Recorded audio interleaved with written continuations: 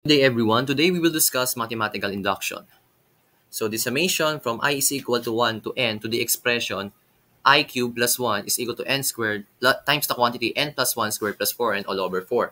So una natin gagawin is verification. That is n is equal to 1. So ang gagawin natin, papalitan natin lahat ng n ng 1 no? by substitution. Pero since may i tayo dito, no, papalitan din natin siya ng 1 para makita natin kung mag-equal ba siya or not. So, yan na. So, first, copy the expression. i cubed plus 1 is equal to n squared times the quantity n plus 1 squared plus 4n all over 4. Then, 1 cube, no? Kasi sabi ko nga, papalitan lang natin no, by substitution. So, 1 cube plus 1 is equal to 1 squared, dating n squared, no? Times the quantity 1 plus 1 squared plus 4 times 1 all over 4. Then, simplify natin tong nasa left side of the equation. So, 1 cube, that is 1 pa rin. So, 1 plus 1, that is 2. Then, 1 squared, that is 1. Then 1 plus 1, that is 2. Pero since may exponent na 2, that is 2 squared. Plus 4, since 4 times 1, that is 4, all over 4. Then, expand natin tong 2 squared. 2 squared is 4. 4 times 1, that is 4. Then, copy nyo lang yung plus 4. No? Then, add natin tong nasa numerator. So, 4 plus 4, that is 8. Then, 8 divided by 4, that is 2. So, as you can see, nag-equal siya. So, therefore, we can say that it is true for n is equal to 1. Ngayon, dahil alam na natin yung verification, punta naman tayo sa induction hypothesis, which is n is equal to k. So, ang gagawin lang natin is, based dun sa naging expression natin dito, papalitan lang natin lahat ng variable na k. So, yan. So, we, uh, we will assume that i cubed plus 1 is equal to k squared times the quantity k plus 1 squared plus 4k all over 4. So, as you can see, hindi ko pinalitan ng k yung i dahil lang sabi lang dito, yung n lang ang papalitan natin. No? So, next natin na gagawin is proof of induction, which is n is equal to k plus 1. So we will prove that i cube plus 1 plus k plus 1 cube plus 1. So as you can see dito sa left side, pinalitan ko na siya ng k plus 1. No? In-expand ko na. No? Is equal to k plus 1 squared. So that galing, galing yan dito. Sorry, dito.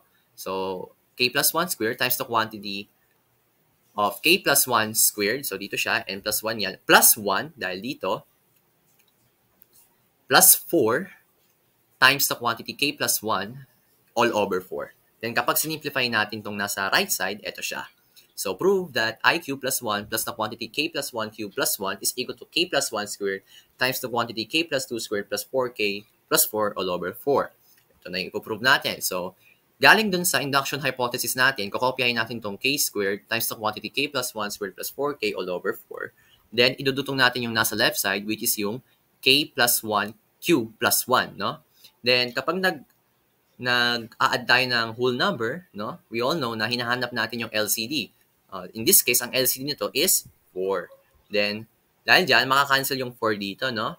Then, imumultiply natin yung 4 dito. So, kapag, pag ginawa natin yon that is k squared times the quantity k plus 1 squared plus 4k plus 4 times k plus 1 cube plus 1.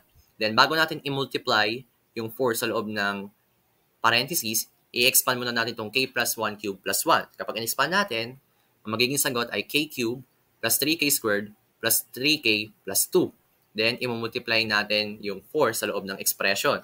Then, so, kapag multiply natin yung 4 sa loob ng expression, that is 4k cube plus 3k uh, plus 12k squared kasi 4 times k cube, that is 4k cube. 4 times 3k squared, that is 12k squared. 4 times 3k, that is 12k. Then, 4 times 2, that is 8. Then, Since sinimplify natin yung nandito, simplify na lang natin tong k plus 1 squared. So kapag sinimplify natin, k times k, that is k squared. 1 times k, that is k, doblehin 2a. Then 1 squared, that is 1. Then after nyan, imumultiply natin tong k squared dito sa loob ng parentheses. So k squared times k squared, that is k raised to the 4th power. Then k squared times 2k, that is 2k cubed. Then k squared times 1, that is k squared. Then we will combine like terms, no? Or similar terms. No? Pag sinimplify natin, eto na siya. So, yung k raised to the fourth, wala naman siyang like term, so kukopyahin lang natin. Then yung 2k cube, tsaka yung 4k cube, pareha sila. So, i-add natin, no? 4k cube plus 2k cube, that is 6k cube. Then yung may exponent na 2, that is k squared, tsaka yung 12 squared. So, i-add natin. 12k squared plus k squared, that is 13k squared. Then yung 12k, i-add natin siya dito sa 4k dahil like term sila. So, 12k plus 4k, that is 16k. Then yung constant natin na 8, wala naman siyang like term. So, kukopyahin lang natin siya. All over 4. So, titignan natin no? Kung magi-equal ba siya dito sa ating uh, induction, no? Kapag nag-equal siya, so, titignan natin. So, una, kopyahin nyo muna to. So, k plus 1 squared times the quantity k plus 2 squared plus 4k plus 4 all over 4. Expand natin to ngayon. Pag expand natin tong k plus 1 squared, that is k squared plus 2k plus 1, no? Kasi k times k, that is k squared. k uh, times 1, that is k, double hen 2k. Then, 1 squared, that is 1. Then, yung k plus 2 squared naman ang expand natin. So, gagawin natin. So, k squared, that's k squared pa rin. Uh, k times k, that is k squared, sorry. Then, 2k, no? 2 times k, that's 2k, double hen 4k. Then 2 squared, that's 4. Then, mamultiply natin isa-isa. And also, i-add na, uh, dadugtong lang natin tong 4k plus 4. Then, kapag multiply natin, so isa-isa, tingnan nyo, ha, dandaanin natin. So, k squared times k squared, that is k raised to the 4th. k squared times 4k, that is 4k cubed. k squared times 4, that is 4k squared. Then, ito naman 2k, multiply natin sa kabilang parentheses. So, 2k times k squared, that is 2k cubed. 2k times 4k, that is 8k squared. Then 2k times 4, that is 8k. Then yung 1 naman. So 1 times k squared, that is k squared. 1 times 4k, that is 4k. 1 times 4, that is 4. Then dudugtong natin tong plus 4k plus 4. Then, combine like terms again. So, simplify natin. So, k raised to the 4th, wala siyang ka-partner. So, as is, kopyahin lang natin siya dyan. Then, yung 4k cube, ang partner niya ay yung 2k cube. So, 4k cube plus 2k cube, that is 6k cube. Then, yung may exponent naman na to, titignan natin. So, 4k, 4k squared, 8k squared, at k squared. So, 4k squared plus 8k squared, that is 12k squared. Plus k squared, that is 13k squared. Then, naman natin yung may exponent na 1. So, meron tayong 8k, meron tayong 4k, at meron tayong 4k dito. So, 8k plus 4k, 12k. Plus 4k, 16k. Then, tingnan natin yung constant. So, meron tayong 4 tsaka 4. So, 4 plus 4, that is 8 all over 4. So, as you can see, nag-equal sila, no?